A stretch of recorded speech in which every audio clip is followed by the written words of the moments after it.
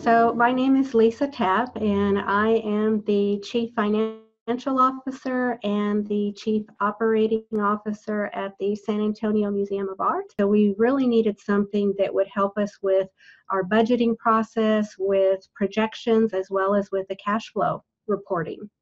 As a nonprofit, you know, we're highly reliant on donor contributions, uh, and so we're always looking for things that uh, are cost effective in what we're doing because as a donor supported organization uh, you know funds are not always as plentiful as we'd like them to be. And so uh, you know we definitely have to be wise with how we spend our money. I think i came across Acterys really as we were looking at our microsoft office suite. We were looking at using some of the additional programs in there that we had not been previously using. So we wanted to go beyond just Excel and Word and Outlook into, we were already expanding into SharePoint. We were looking at Teams and then started taking a closer look at Power BI. It was just kind of a nice surprise to see that there was something that looked like it would just fit right in with all the other tools that we were already looking at implementing. Starting out, I mean, we've started out with some of the basic templates, you know, of course, the cash flow template, um, some of the basic P&L and balance sheet planning. The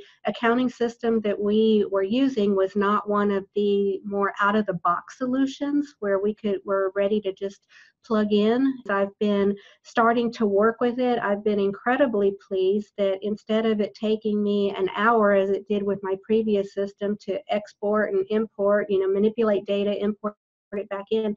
I can do it now in a minute's time. Um, it's a quick export, you know, transfer a file, and I'm done, and I'm, I'm up and running and looking at, at reports in here. So it's beautiful your solution was really, you know, very cost effective. It, the cost, even on a per user basis, was was very reasonable. The cost of implementation was less than we would have spent, um, you know, elsewhere. And I felt like the customer service was so much better, uh, and just really an all around great great solution for us. Um, you know, just give us a deeper dive into our data than we've ever had before.